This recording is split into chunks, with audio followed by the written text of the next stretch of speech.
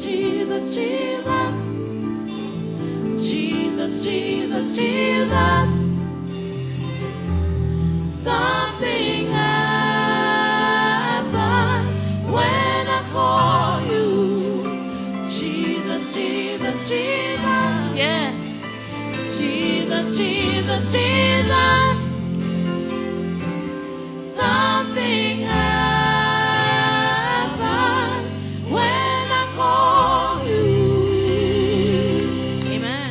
Gotta admit, when I got home today, I was feeling awfully tired. When it was time to come, I said, You gotta be kidding me. It's already time to go back. I said, God, I'm, I'm weary. But very quickly came to my mind some words from Him. He said to me, My grace is sufficient for thee because my mind is stayed on him. And all I have to do here is stand. I've never won a soul to the kingdom in my life. He has done everything. Every soul I've ever baptized, it's because of him. So, how foolish is it for me to think somehow tonight depends on me?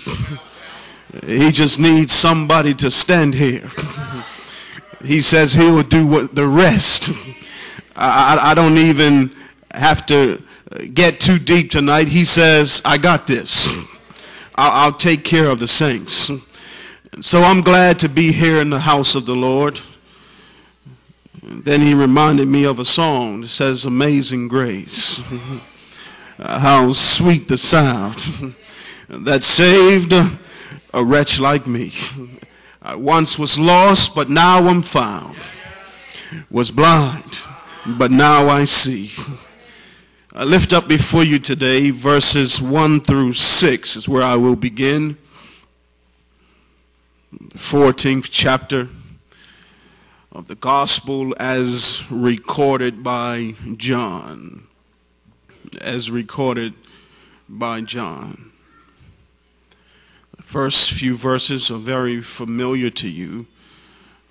The Bible says, Let not your heart be troubled. Ye believe in God, believe also in me. In my Father's house are many mansions. If it were not so, I would have told you. I go to prepare a place for you. And if I go and prepare a place for you, I will come again and receive you unto myself, that where I am, there ye may be also. Then Jesus makes a strange statement.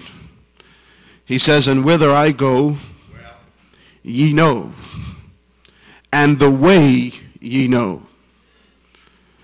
Uh, but then doubting Thomas saith unto him, Lord, talk to us straight. Tell us like it is. We know not whither thou goest. So how can we know the way? Verse 14, chapter 14, verse 6 says, Jesus saith unto Thomas, I am the way, uh, the truth, and the life. No man cometh unto the Father but by me. I need you to understand, just as a prologue to this message, that within verse 6 there is a special Greek construct. Uh, when the Bible says, unto the Father, uh, the construct that is being used in this particular text is pros ton patera. Uh, if you would, it's the same construct uh, that gives us understanding tonight. When we look in John chapter 1, verse 1, the Bible says, In the beginning was the Word, and the Word was with God, and the Word was God.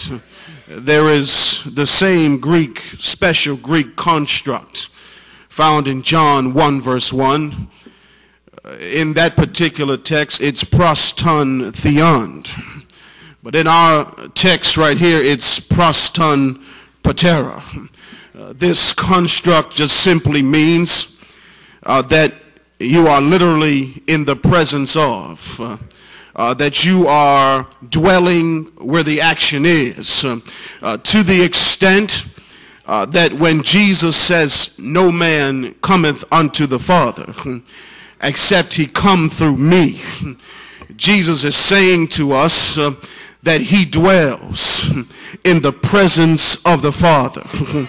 Jesus says, I am the door. And if you want to get to the Father, you've got to get through me. Because from the beginning, I was in the presence with the Father. I know him and he knows me. As a matter of fact, we are one. But Jesus says to the disciples, uh, you know the way to glory. How could these disciples know the way to glory? Well, we understand that the disciples walked with Jesus. They talked with Jesus. Um, They spent time with Jesus. Um, They prayed with Jesus. Um, They hung out on the mountainside with Jesus. Um, They ate dinner with Jesus. Um, They woke up with Jesus. Um, For three and a half years, they spent their every living, breathing moment in the presence of Jesus. Hence, Jesus could say to them, Because you know me, you know the way.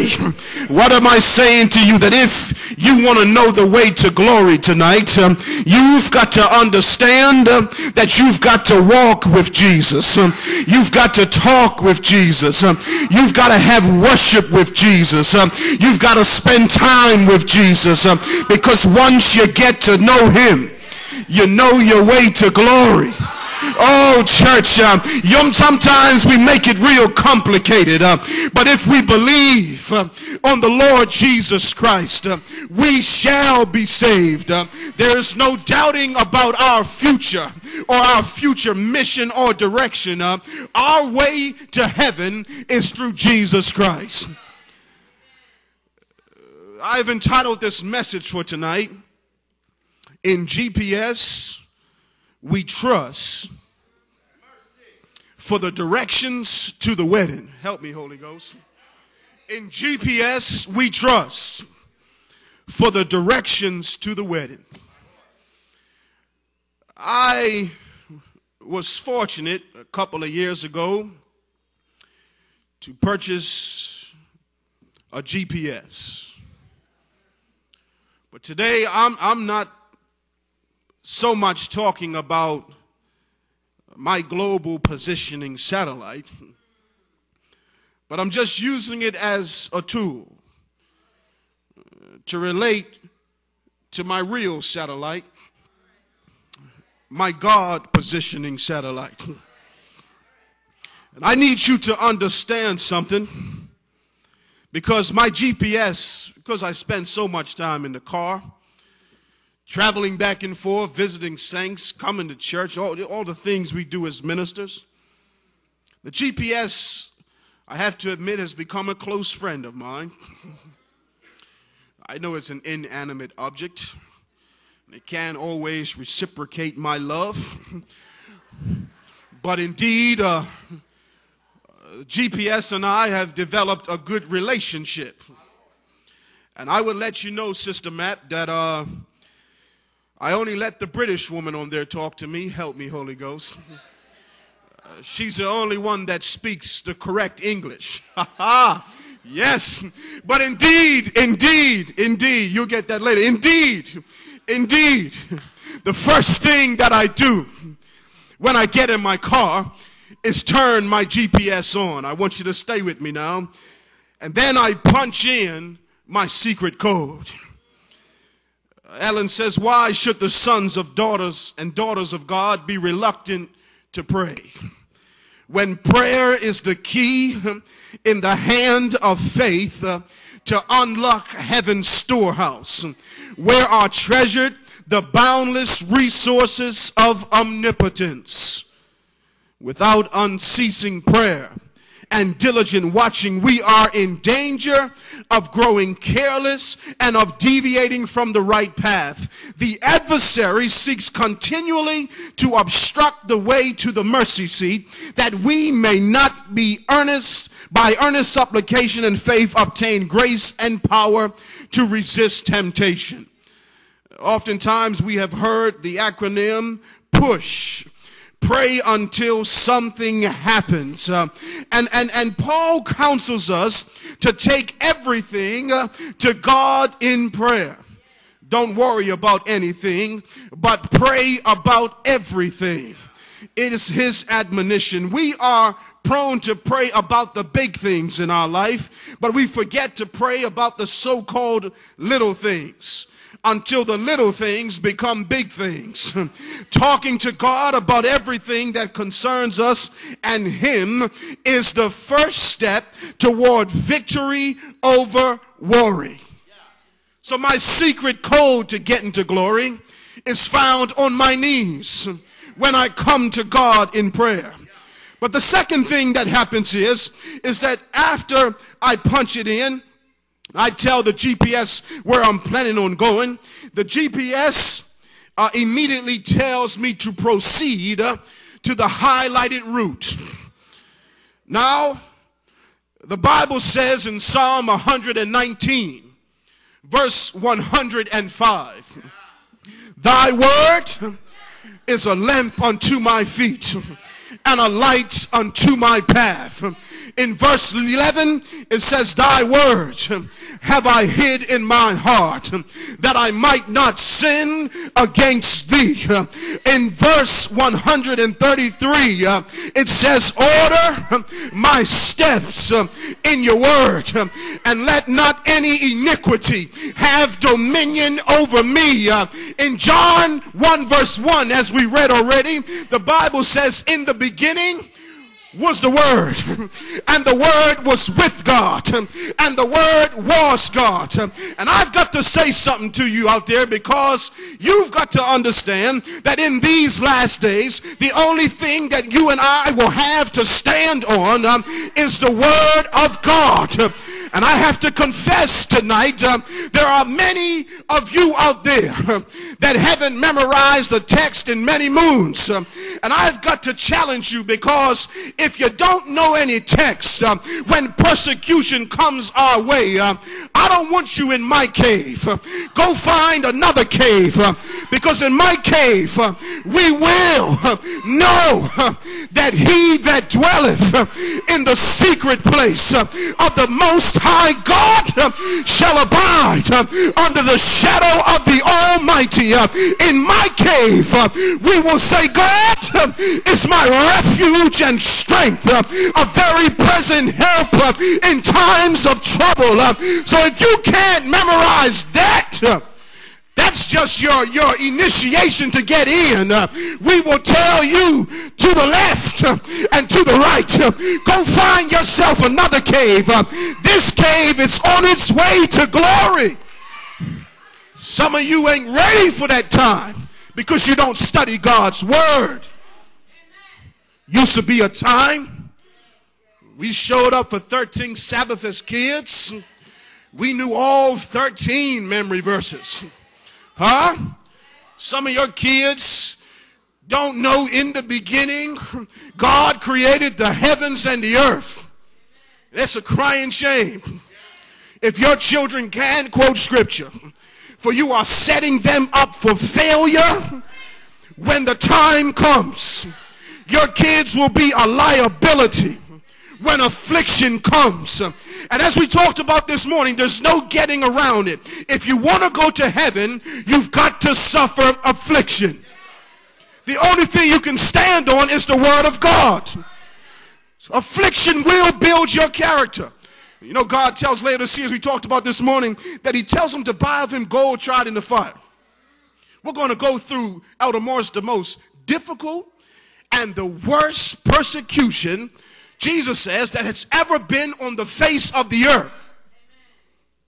You and I, us, if we're around, we're going to go through it. You say, well, why God got to give us the worst? Well, the reason he got to give us the worst is because some of you and I are so messed up that it's going to take a whole lot of persecution to get us right. There's a lot of purifying that he's going to have to do for us before we can go up there. Some of you come church with that shallow, that superficial mind, uh, still feeding off of baby food, and God's trying to give you some nourishment. You've got to understand that now is the time to learn to stand up on the word of the living God.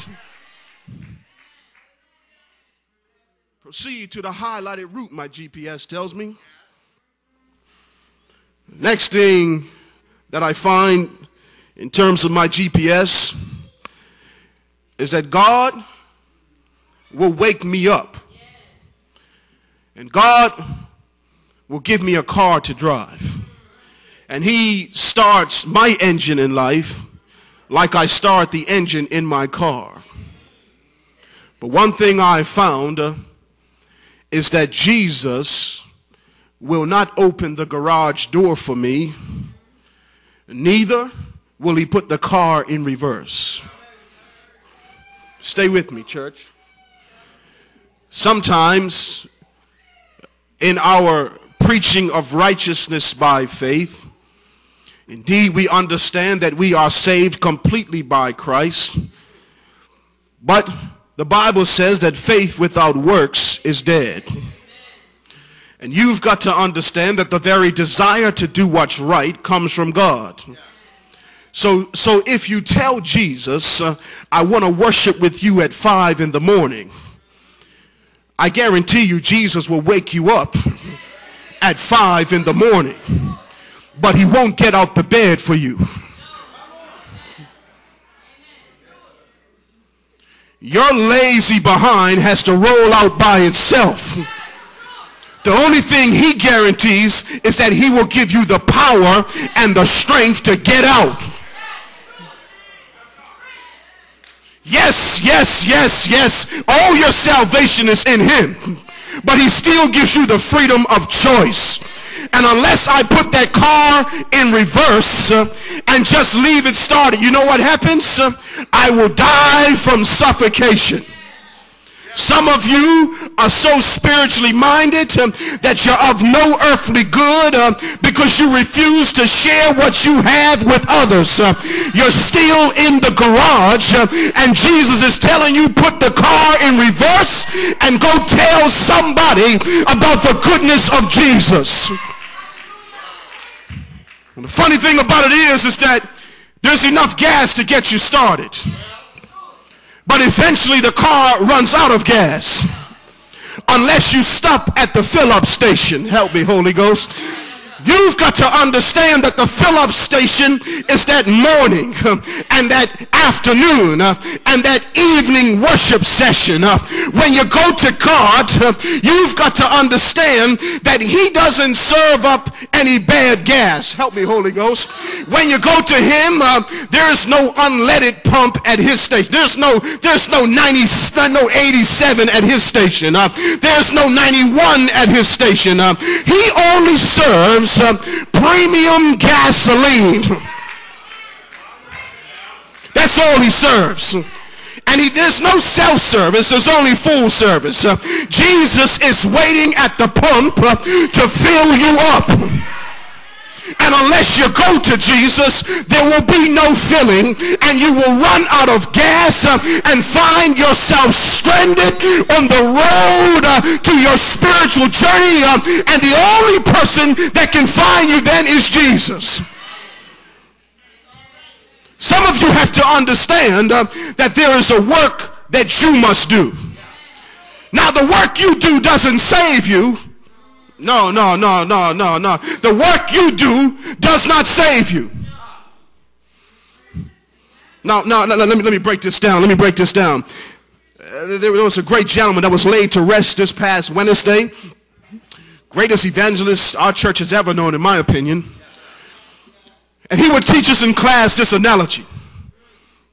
Cleve would say this. He would say an apple tree. Stay with me now. Stay with me now. This is this is going deep. All right. I'm trying to teach Dr. Denham something. Stay with me. All right. an apple tree is not an apple tree because it bears forth apples. Stay with me now. But rather, an apple tree bears forth apples because it is an apple tree. Help me, Holy Ghost. I'm going to say it again for you. An apple tree is not an apple tree because it brings forth apples.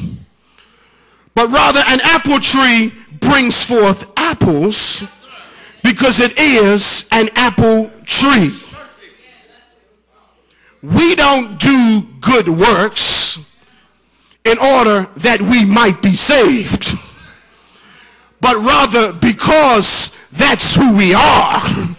We can't help but do it. Stay with me, stay with me now.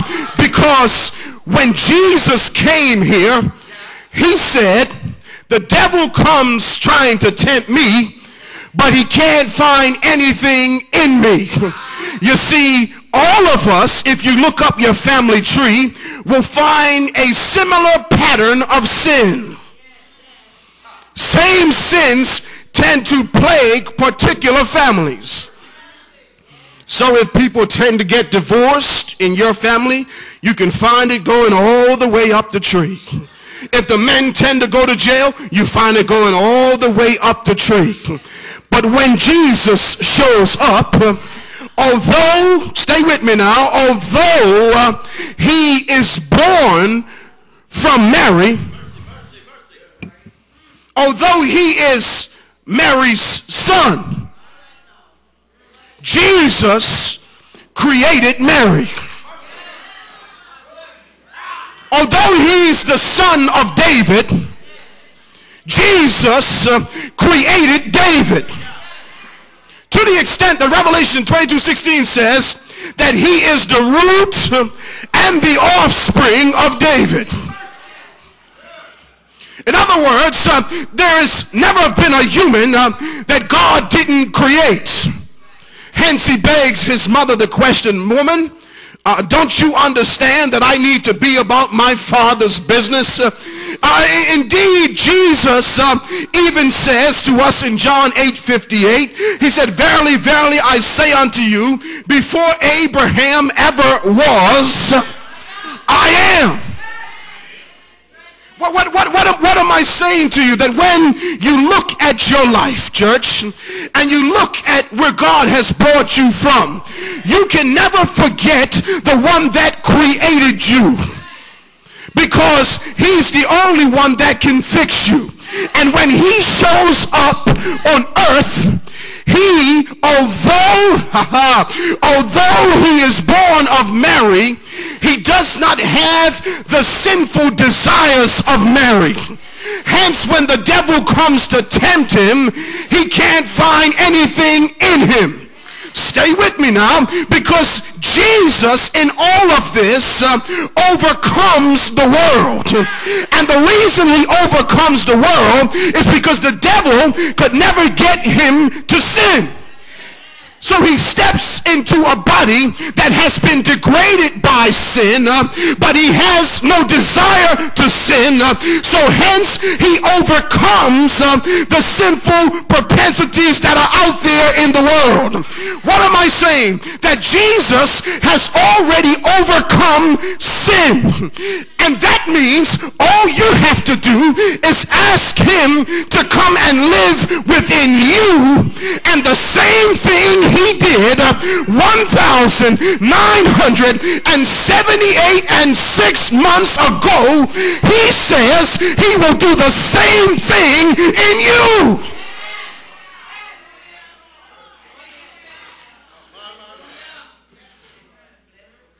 Next thing my GPS teaches me is that my GPS is always taking me closer to my destination. Sometimes it seems like it's taking me backwards, but it's always taking me closer. And it's the same thing with Jesus. Sometimes we look at our setbacks as Jesus not knowing what he's doing. And sometimes, you know, I, I, get mad with the GPS. I said, GPS, why are you taking me this way? I talk to her, yes, I do. Get over it, get one. You'll find out, you'll experience it. but I talk to her, yes, I do. Sometimes it's just me and her in the car.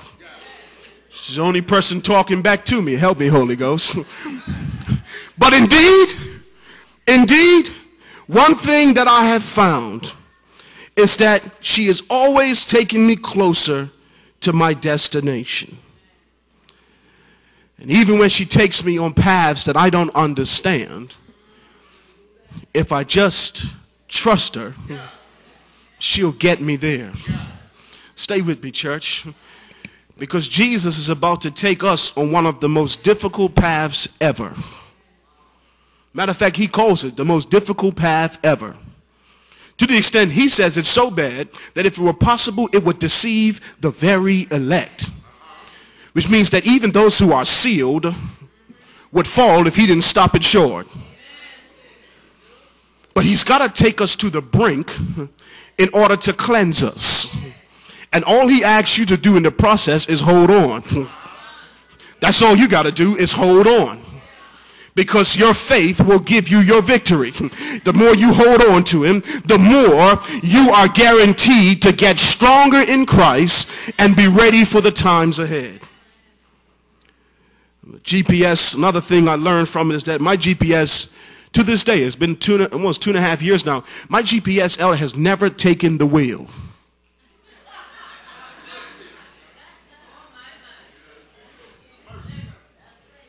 GPS has never taken the wheel. And I got to challenge some of you because indeed, many of us prefer that God would relegate himself to being a backseat driver.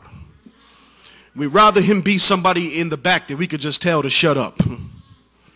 You see, you and I have no problem asking Jesus to forgive us of our sins. We like Jesus as a Savior. We can't stand him as Lord. We're okay with him washing us clean in the blood of the Lamb. But when Jesus tells you to get up and have worship, Lord, I'm tired. God understands, does not. You told him to wake you up, he woke you up. Now get up. Now stay with me, stay with me now because there's a lot of people here tonight, but I can guarantee you on Wednesday night or Tuesday night at prayer meeting, there won't be a whole lot. You've got to understand that Jesus will show up here at 7 or 7.30 for prayer meeting and he's looking for all of you. While you sit home watching American Idol, help me Holy Ghost. Watching 24. Go get a DVR and record it. Come to church and hear the word of the God. Sit at home watching. Uh, well, the God understands. He knows I'm tired. What is he going to say to you when persecution comes? He's going to say you were too tired to spend time with me. Now you're not strong enough to endure. One of the things I learned from my GPS, my GPS has FM traffic. Stay with me now. And the FM traffic does this. When I'm traveling down the road, if Dr. Denham has an accident up the street because she was trying to learn some new word for Scrabble, help me, Holy Ghost.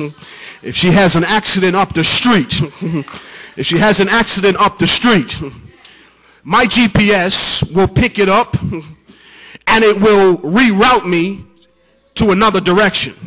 Stay with me now. Because when it does that, it just comes on saying, you know, we're rerouting you, uh, you know, and it will show the accident. I'll hit the screen. It will show me the accident, show me where it is. But it oftentimes gets on my nerves. I'm saying, why is it taking me this way? And what, what I've learned is that my GPS can see things that I cannot see. And you've got to understand that sometimes in life it seems like you're going the long way. It seems like God tends to drag you the long way sometimes.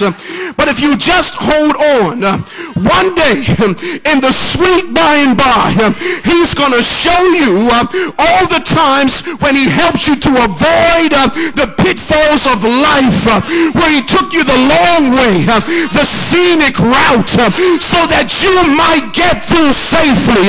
You've got to learn, church, to trust in God.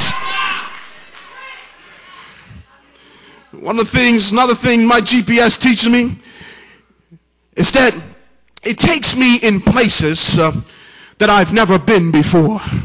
uh, uh, Psalm chapter 23 verse 1 says, the Lord is my shepherd, I shall not want. And the fact of the matter is, is that because he loves me, every now and then uh, he takes me on paths uh, that I've never been before. I got to tell you, in some of the detours I've taken, I didn't even know these neighborhoods existed till the, till the GPS took me down that way.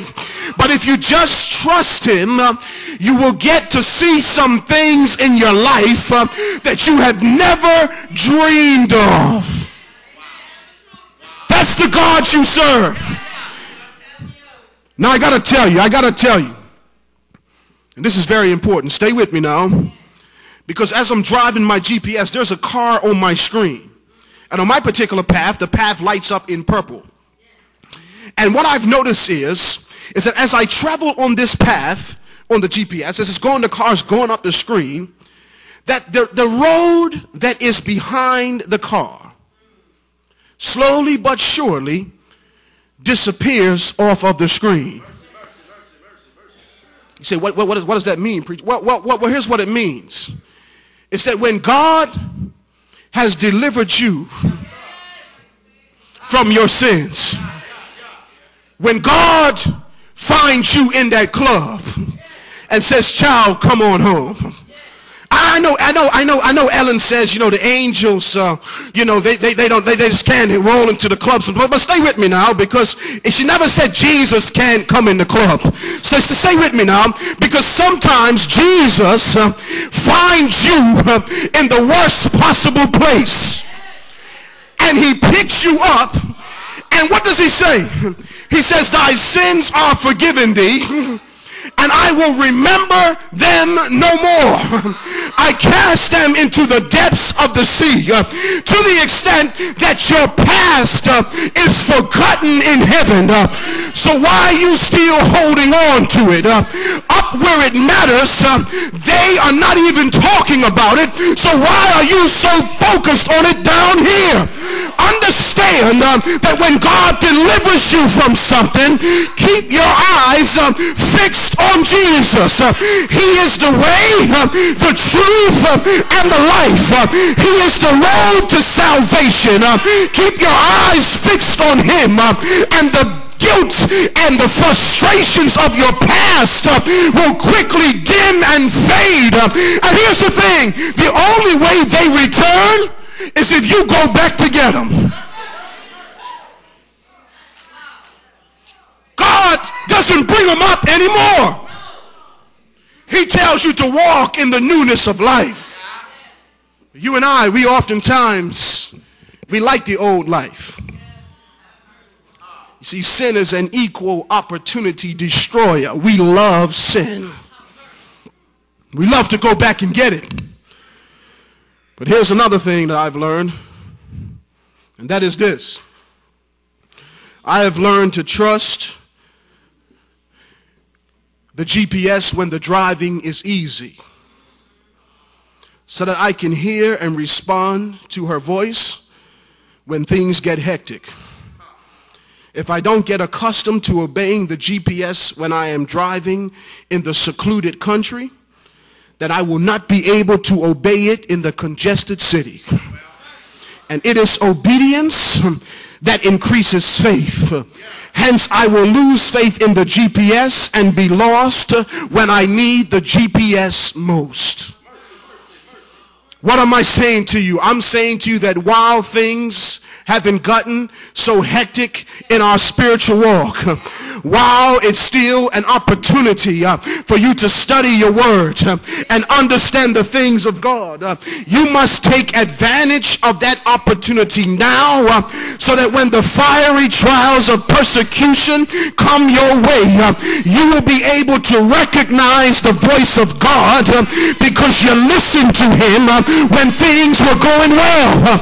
You can't figure or understand or recognize his voice because when I'm in the country, my GPS says turn in 10.2 miles. Turn in 15.6 miles.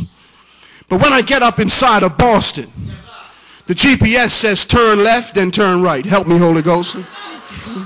Turn right, then turn left. GPS ain't even got the time to name the street. But I've learned, stay with me now, I've learned that, that when it's time for me to turn on the GPS, that that little corner turns right. Help me, Holy Ghost. so that when I get in the right, I know it's time to turn. Jesus tells me today that he washes me white as snow. and if I learn to dwell in the purity of his presence, when things get rough, uh, I won't make the wrong turn uh, because Jesus uh, has already fixed it in my mind and I know where to go in this life. Here's the thing I just learned and realized just the other day. I was leaving a friend's home who I normally visit, and it was in the dark of night. And this person maybe lives good half an hour from me. And for whatever reason that night, I was not in my car. My wife had my car, and I was in the friend's car, uh, one of the elders from my church, and he was he was driving. And we were leaving his house, and it was very dark at night, and he was giving me a ride. I think we had just come back from visitation, and and and, and we were driving. I said, "Man, we ain't got no GPS." I feel lost with her. Get over it. You ought to feel lost when you can sense Jesus. But stay with me. And so he said, Man, can you figure it out? I said, I'll try. And here's what I noticed I noticed that I didn't miss any turns. Every time I need to turn, I say, Turn left here. Said, Turn right over here. Go a couple of miles, turn left. Turn right. Guided myself right back home. Stay with me. Stay with me now. Stay with me. I have gotten so accustomed to listening to her voice that sometimes I don't even need her direction. I can get there because I'm accustomed to, following the right path. Stay with me, church. Sometimes you've got to understand that if you trust Jesus and you get to know him well enough, you'll be able to make the right turn even in the darkest times in your life. You'll be able to make the right turns. You won't lose faith. You won't go off path. You won't stray. And this is the kind of faith that the people of God need as we approach the time of the end. This is what we need.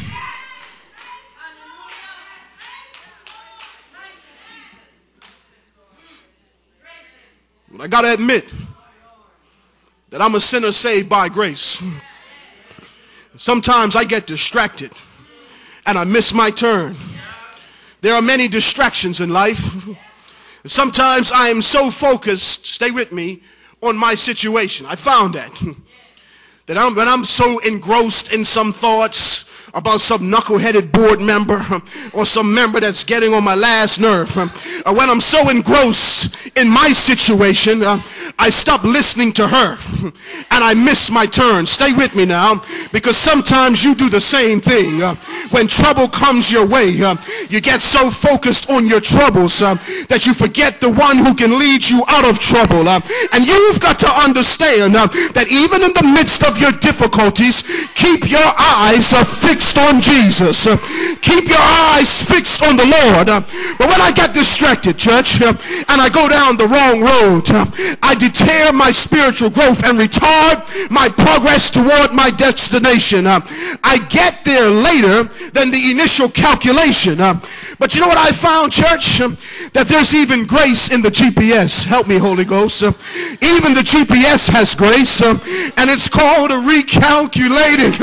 Uh, you see, as soon as I go straight, um, when I should turn, uh, and when I turn, when I should go straight, uh, the GPS uh, immediately announces uh, recalculating. Uh, oh, when I fall down in the path of sin, uh, God does not leave me where I am, uh, but echoing from the corridors of heaven, uh, I hear the Savior shouting, uh, recalculating. uh, oh yes, when I find myself back in the club, uh, Jesus says recalculating. Uh, when I find myself stealing, uh, watching the internet, watching adultery, doing premarital intimacy, gossiping, drinking, smoking, talking bad about God's church, watching soap operas, listening to Beyonce, uh, Lil Wayne, uh, Jigga, uh, and 49 Cent. Uh, when I find myself uh, in bed with someone uh, that I know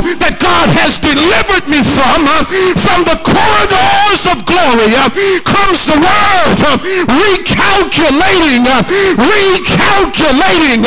God says, I don't throw you back on the curb. remember, that's where I found you. uh, where I picked you up from. uh, I'm not going to put you back where I cut you from. uh, recalculating. uh, I've still uh, got enough grace uh, to carry you to glory. Uh, don't give up. don't give in. I've got a home up yonder waiting for you.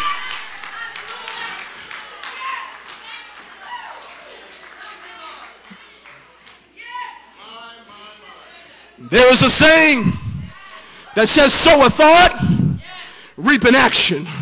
Sow an action, reap a habit. Sow a habit, reap a character. Sow a character, reap a destiny. So it's not the time to give up on Jesus because he's trying to take us to a special place. And I got to talk a little bit about that destination before I leave. If you'll permit me, baptismal candidates, just to talk just for a couple of minutes about the place he's taking us to. Because when I read about this place, I experience the hope. Help me, Holy Ghost. When I read about this place, I experience hope. You might not, but I do. I look in Revelation chapter 21. John stranded out there on the Isle of Patmos, a, a prisoner, a coal miner, uh, uh, confined to hard duty. But God gives him a vision in Revelation 21, and John says he saw a new heaven and a new earth. For the first heaven and the first earth were passed away, and there was no more sea. And I, John, saw the holy city, the new Jerusalem, coming down from God out of heaven, prepared as a bride, adorned for her husband. I don't know about you, church, but I plan to be at the wedding. I, I- know, I know some of you are not quite focused on it right now, but I've got to understand that when I look at the things that are going on in this world, uh, it's not hard to see that soon and very soon uh, Jesus is about to come. Uh, soon and very soon uh, he's about to break the clouds of glory. uh, and so I'm waiting for the wedding. I know the church is his bride, uh, but apparently he has another bride. Uh, he calls it the New Jerusalem, uh, coming down from God out of heaven, prepared as a bride uh, adorned for her husband.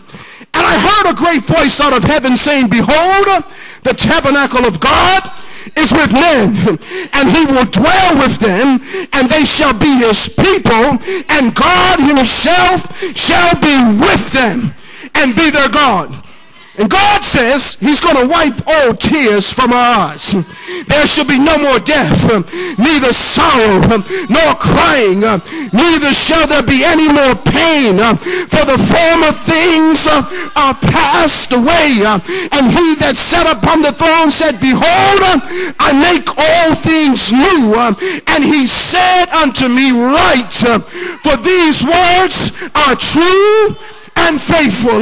He said, I am the Alpha and Omega, the beginning and the end. I will give unto him that is athirst of the fountain of the water of life. But stay there with me now, because further on down, in verse 11, the Bible says, having the glory of God has this city, uh, and her light was like unto a stone most precious, uh, even like a jasper stone, uh, clear as crystal. Now stay with me now. And uh, had a wall great and high. And there were 12 gates. and at the gates, 12 angels. and the names written thereon were the names of the 12 tribes of Israel. On the east there's three gates, on the north three gates, south three, and west three. And the wall of the city had 12 foundations, and in them the names of the 12 apostles of the Lamb. Now stay here. Stay here with me, church, because verse 16 takes me down a different path. Verse 16 takes me down a entirely different path. You see, the Bible says, and the city lieth four square and the length is as large as the breadth. And he measured the city with the reed. Help me, Holy Ghost. And here's what the city measured 12,000 furlongs. Mm. And the length and the breadth and the height of it are equal. Now, we understand that 12 furlongs represents, I should say 12,000 furlongs represents almost precisely 1,500 miles. Stay with this preacher. I'm about to teach Dr. Denham something, so stay with this preacher. You see, there are different levels to our atmosphere. The first area is what we call the troposphere. It's really from Earth up until about the first four miles up. The next area is the stratosphere. This particular area goes up to about 50 miles up. The next level is the mesosphere. This level is about 50 to 53 miles up. Stay with me now. Stay with me. Stay with me. When the astronauts are headed into space, they first experience turbulence at about 67 miles up. On re entry back into Earth, they first experience turbulence at about 75 miles up. So at its highest point, at its highest point, our atmosphere, before we get into outer space where there's satellites and stuff, our atmosphere goes up to about 75 miles. The word of the Lord says that God's city is coming down here to land on earth. We're told she's going to sit down on the old Mount of Olives. Hmm. But, but this city measures 12,000 furlongs or 1,500 miles. But the Bible doesn't stop there. It says that the length and the breadth and the height are all equal. So the city of God is 1,500 miles long. And it's 1,500 miles wide. But it's also 1,500 miles tall. What, what am I saying to you? That the majority of the city is in outer space. Help me, Holy Ghost. There's a portion that's inside of earth but the, but the majority is outside of earth. Why is that? Because now God's dwelling place uh, is on earth. And when all the other worlds uh, want to come and see Jesus, uh, they've got to come to earth. And in order to find him, they got to know where he is. And there will be a city 1,500 miles tall where there'll be no mistaking where the master is. There is a transparent uh, golden city. uh, and wherever you look out there, you can't help but see this glistening ball in the distance uh, where dwells the maker of heaven and earth. Uh, and I've got to tell you that I can't wait for this wedding. Uh, you see, this is going to be a glorious wedding. Uh, I can't wait, church, to make it to this wedding. You see, church, when I get to this wedding, I understand that there'll be no more sickness at the wedding. there'll be no more cancer at the wedding. There'll be no more suffering at the wedding. There'll be no more diabetes at the wedding. There'll be no more heart failure at the wedding. There'll be no more cancer at the wedding. There'll be no more pimples, young people, at the wedding. There'll be no more AIDS or death at the wedding. Uh, But it doesn't stop there, church. You see, I'm also told that there'll be no more bills at the wedding. No more telephone bills at the wedding. There'll be no more Comcast at the wedding. No more rent and mortgages at the wedding. There'll be no more water bills at the wedding. No more tuition at the wedding. No more student loans at the wedding. uh, No more car notes um, at the wedding. uh, No more preachers. uh, No more preachers. No more preachers. uh, Pastor Morris and I will be sitting uh, at the feet of Jesus. uh, There'll be no more preachings uh, up in heaven. uh, But it doesn't stop there, church, because I understand uh, that some of you are a little vain. Some of you are a little vain. And I know when you get to glory, you're going to be up in glory trying to fix your hairdo while you look in the streets of gold.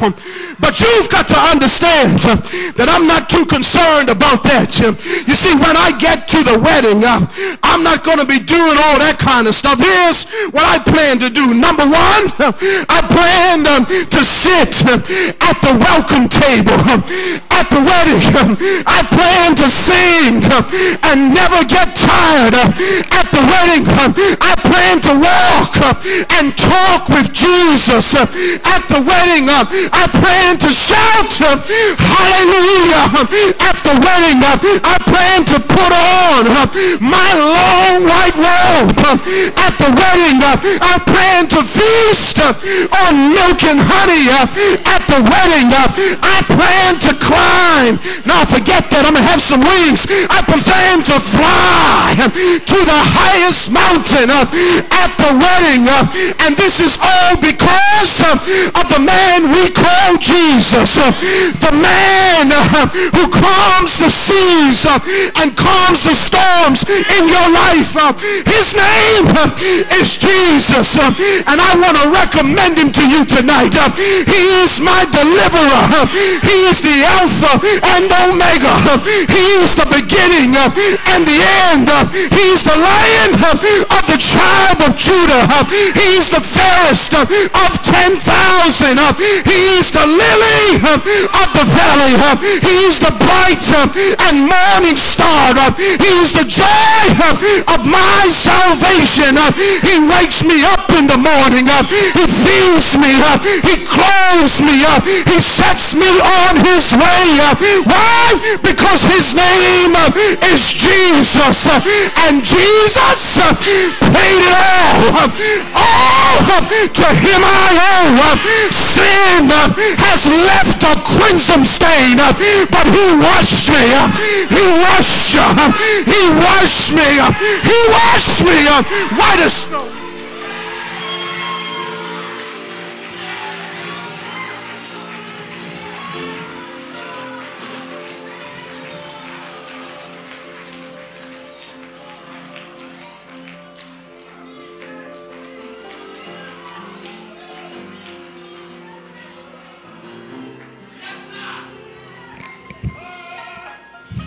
What a friend we have in Jesus. All our sins and griefs he bears.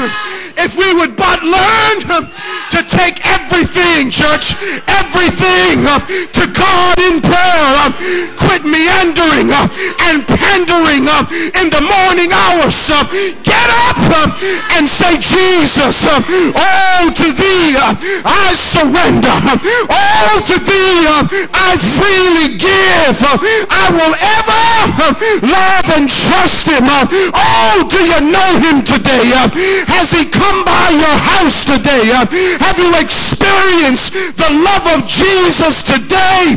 Jesus uh, is the reason we have five baptisms tonight. Uh, It's because of Jesus and the blood that flows from Calvary's cross that five souls are going into the watery grave of baptism. And you've got to understand, candidates, that up in glory, there are five whole new parties uh, starting just for you. Uh, And we get to be a part of them all. Uh, So in the name of the Father, in the name of the Son, and in the name of the Holy Ghost, God commands you today to be thou clean, be thou whole, go and sin no more. Who says amen to the word of God today? Today there's somebody here that needs a savior. Your heads are bowed, your eyes are closed. You've heard, you've heard the joyful sound today. Jesus saves. Jesus saves.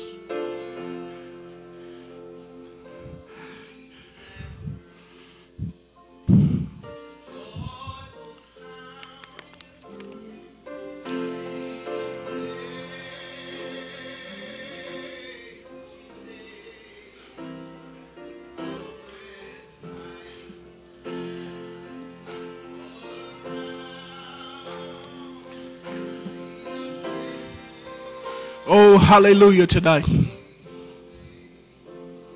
Your heads are bowed, your eyes are closed. Today, man, woman, boy, and girl, under the sound of my voice,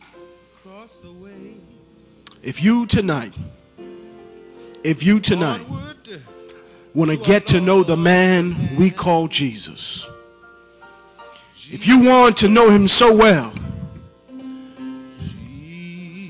that he immediately recognizes you when it's time to go home, then I just want you to stand wherever you are. Just stand. Just stand for Jesus. You want to get to know Jesus so well that when he comes, you're ready to go home. Just stand wherever you are. You want to get to know him that well, but when he comes, you're just ready to go home. Just stand wherever you are. Stand for Jesus. Stand for Jesus. Give your best to Jesus. Stand for Jesus. You can come forward. That's okay too. Those of you standing, come forward. Come on down here and meet Jesus down here.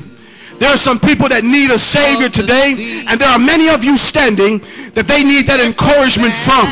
So those of you that have stood, just come on down here to the front. Come on down here to front and, and, and let's pray to Jesus that from this day forward, we won't let anything get in our way. But we will get to know him for ourselves. We'll give of our best to him.